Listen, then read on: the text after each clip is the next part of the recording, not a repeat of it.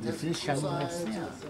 Well, welcome you all here, and of course, especially uh, Professor Pelinka and Mrs. Pelinka. Uh, we have another uh, distinguished guest from abroad, Professor Alvin Rosenfeld, who heads up probably the largest Jewish studies department in the United States at the University of Indiana at Wayne. Alvin, welcome. Uh, this is, as you all know, a superfluous lecture. Kreisky in 1973 already said there is no more anti-Semitism in Austria, uh, and uh, we are 33 years later, so this will be essentially a historic lecture, as I, understand. Uh, and really, certain people uh, I'm exceptionally glad that finally, after a number of years, that you're targeting to bring them here, that finally works out. In fact, it's not only this time, it's also next time we will have Professor David Cook from Rice University in Houston on the 4th of July. Professor David Cook is the expert in the world on apocalypse and jihad uh, in Islam uh, since its beginning until uh, today and we, uh, with that we will close the Berman series this year. Uh, Professor Anton Pelinka is not only a leading internationally known political scientist, he's also a very, very courageous person. Uh, he called Haider what he was, and he was taken to court by Haider a number of times. One time initially he was condemned as far as I recall. Ultimately the higher courts squashed that uh, condemnation and uh, also additional, there was an additional complaint by, by Haider. And since then, it's permitted to say that uh, Haider is a defendant of National Socialists, I understand it also. Uh, Pelinka, as you have uh, seen, uh, he is present director of conflict research at Vienna University. He also is professor of uh, political sciences at the University of Innsbruck. Uh, he has written very widely about Austrian politics and European politics, and he has held many distinguished fellowships, visiting professorships, academic positions in Europe and the United States.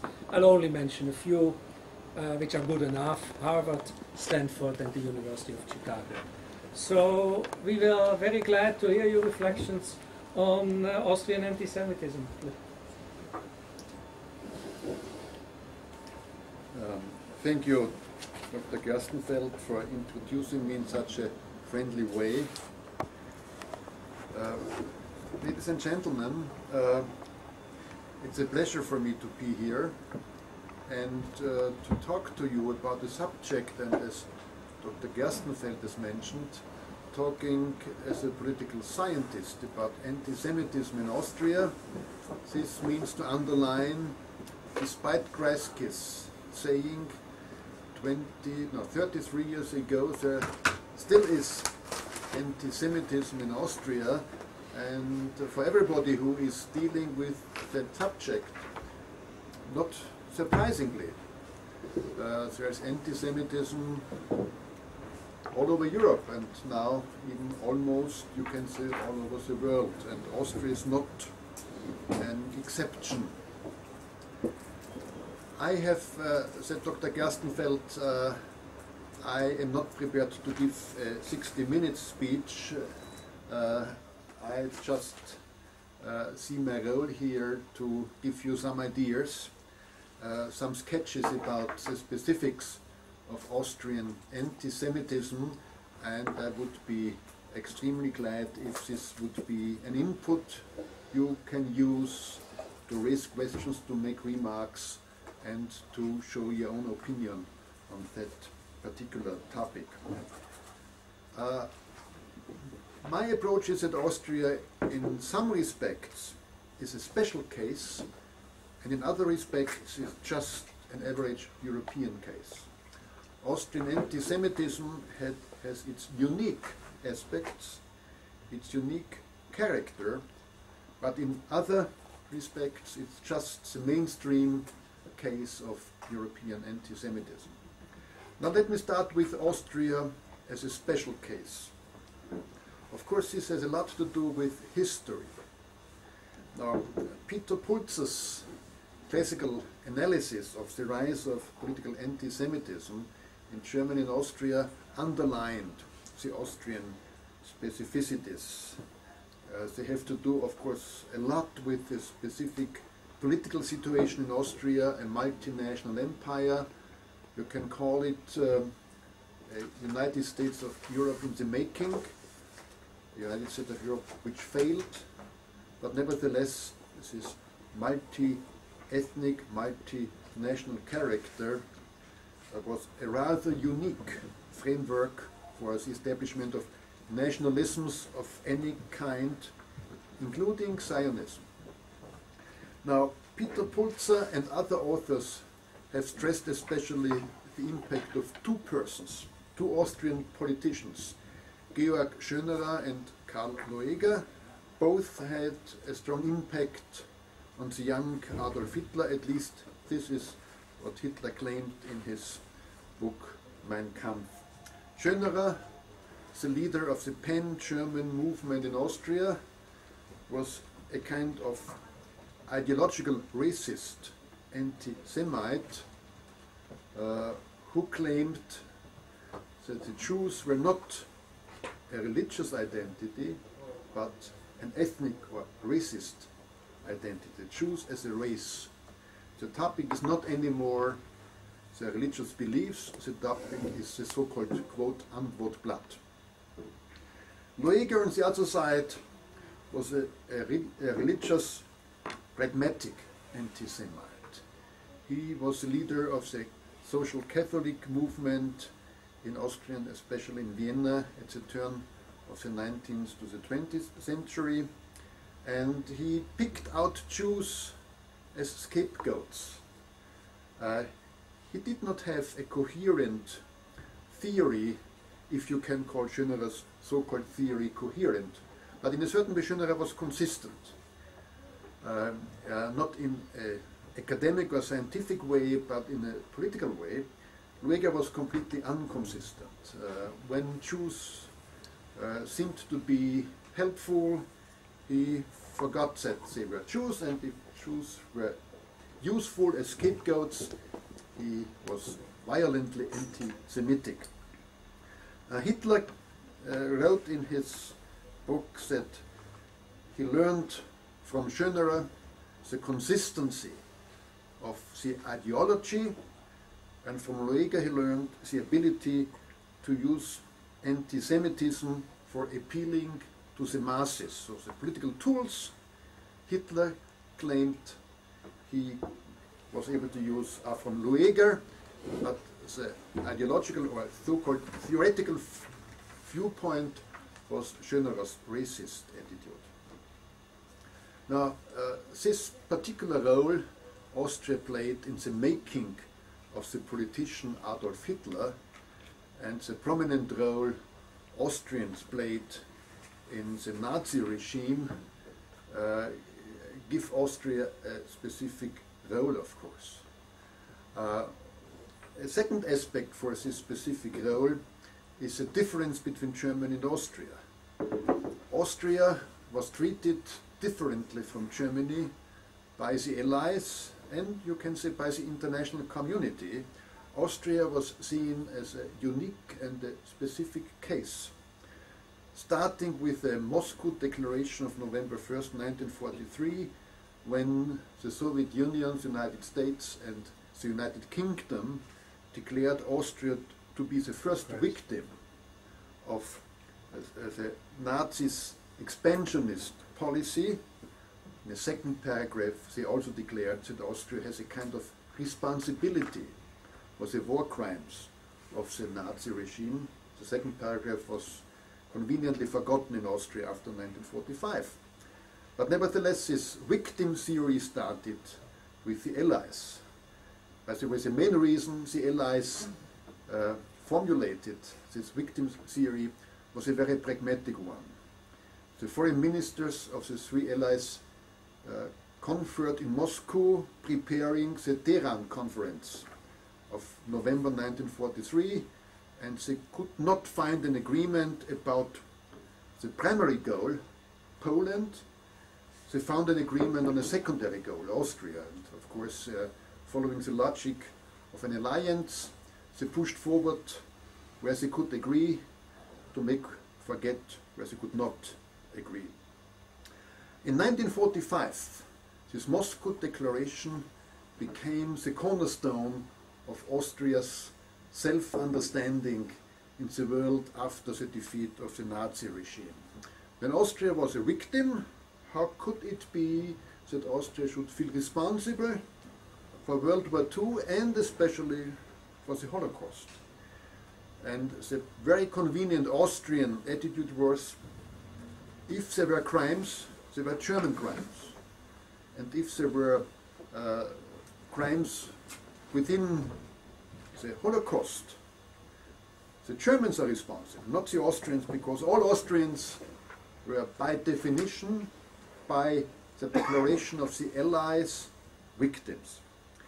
This was uh, the rhetoric of the Declaration of Independence of April 27, 1945, as well as of the State Treaty of May 15, 1955, when it's a preamble, Austria, by the signature of the now four allies plus the Austrian government, was defined as a victim of the Nazi regime.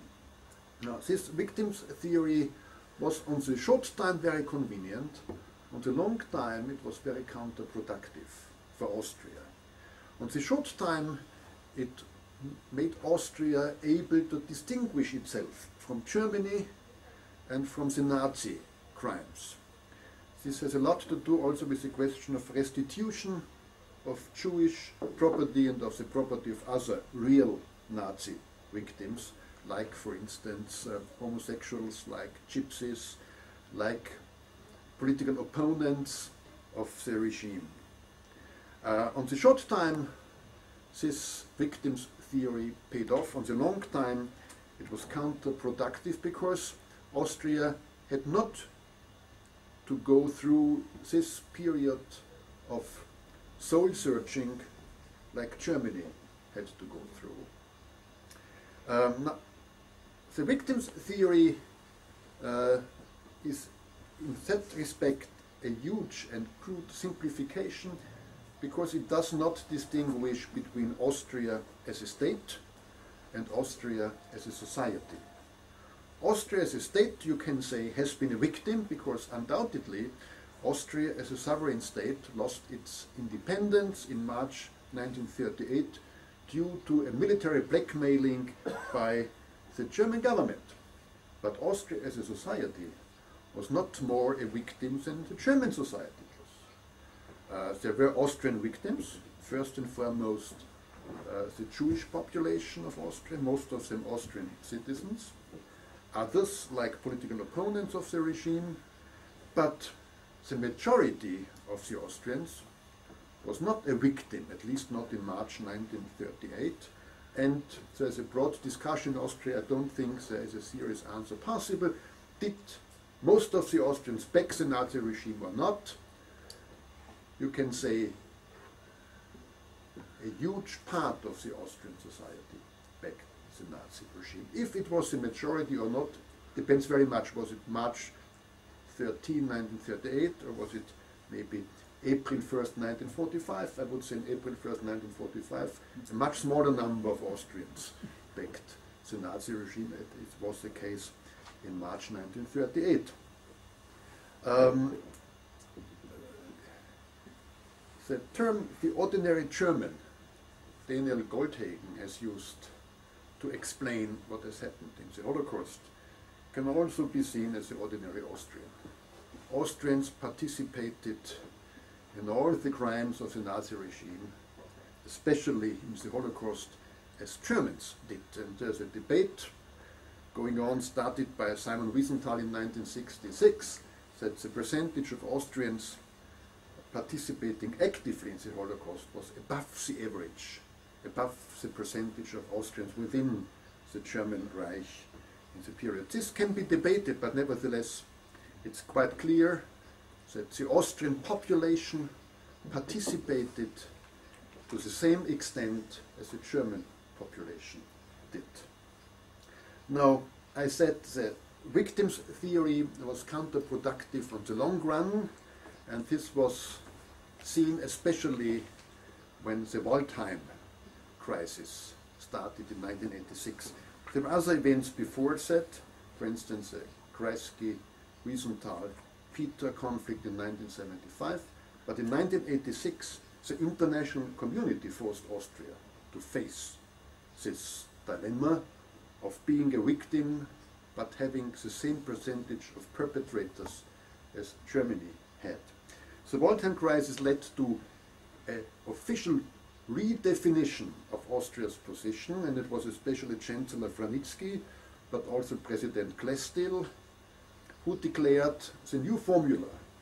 Despite being a victim as a state, Austria as a society has co-responsibility for the Nazi crimes, including the Holocaust. And now, the last point to underline my first hypothesis, Austria is a specific case. Now, in the 1990s, interestingly enough, when the Austrian government redefined Austria's position vis-à-vis the Nazi regime, Austria became also the country with the most successful party rooted in the Nazi past, the Austrian Freedom Party, which was not a new party. Uh, its roots were going back to Schönerer, to the pan-German movement, to the Alldeutsche Partei of the beginning of the 20th century. And in 1949, uh, a new party, but rooted in this background, was established, the League of Independence, Verband der Unabhängigen.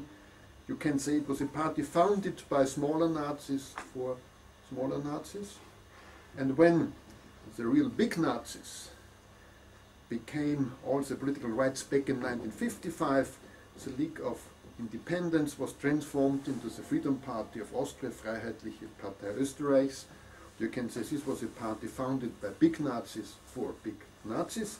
The first chairman of this party was Anton Reinthaller, who was Secretary of State in Hitler's cabinet and also a general of the SS.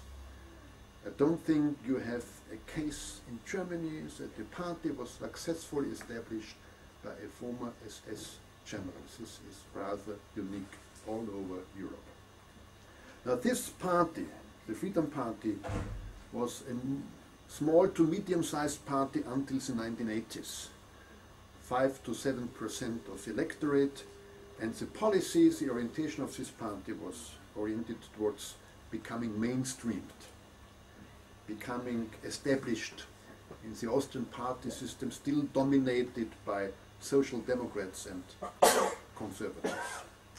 Um, now, in 1986, when it was obvious that this mainstreaming of the party was not really successful because the party did not go over significantly the 5% uh, uh, electorate, um, the party changed its strategy with a new chairman, Jörg Haider, and became not only radically xenophobic, radically anti-European, but also outspoken defending the Nazi past. Just two famous or infamous quotations by Haider.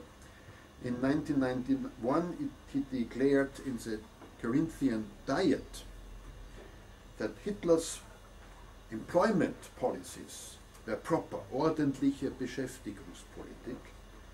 And in 1995, at the meeting of the veterans of the SS, he declared this SS members honorable people, ehrenwerte Menschen.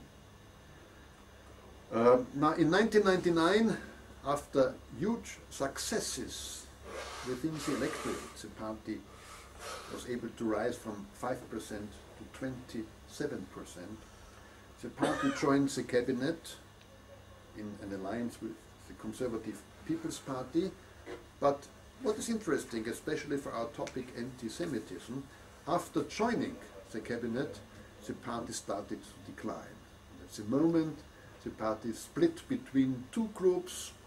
One, so-called dissidents, still at least indirectly led by Jörg Haider, called Alliance for Austria's Future, BZÖ, Bündnis Zukunft Österreich, trying to stay within the cabinet, within the coalition with the conservatives. The other one, the True Freedom Party, tries to follow the past success story, playing not only to the xenophobic electorate of what we call modernization losers, but also to those who have nostalgic feelings about the Nazi Party. Now, three arguments for my first thesis Austria as a specific case. Now, some arguments for my anti-thesis. Austria is not specific at all. Austria is within the European mainstream, and this is much more directed towards anti-Semitism today. Now, if we uh, try to analyze all the public opinion data and all the other empirical data we have about Austrian anti-Semitic attitudes, we can say some determining factors which define anti-Semitism in Austria today. The first one is education. And this is maybe the only real point of hope we have. The better educated Austrians are, the less they are inclined to have anti-Semitic attitudes. Uh, this is a huge reversal from the time before World War II, when Austrian universities were hotbeds of anti-Semitism. Now, Haider almost does not dare to give a public speech at an Austrian university, because the mainstream of university students is maybe conservative, maybe social democratic, maybe green. Green is a very important party for university students but almost nobody is backing Haider. And the main reason is uh, education has worked after 1945 against anti-Semitism. The less educated Austrians, the other side of course, the less educated Austrians are, the more they are inclined to have anti-Semitic feelings, to reflect the traditional anti-Semitic stereotypes of the Jews as the capitalists, of the Jews as communists and so on. The second factor which uh, explains anti-Semitism, and later on I will try to make it a little bit more soft, but at first we have a hard data. The more left-leaning in political terms Austrians are, the less they are inclined to have anti-Semitic stereotypes. At least the traditional stereotypes. You can also say the left is more sensitive towards the traditional aspects asking about anti-Semitism. I come to the phenomenon of a new left anti-Semitism in Austria a little bit later.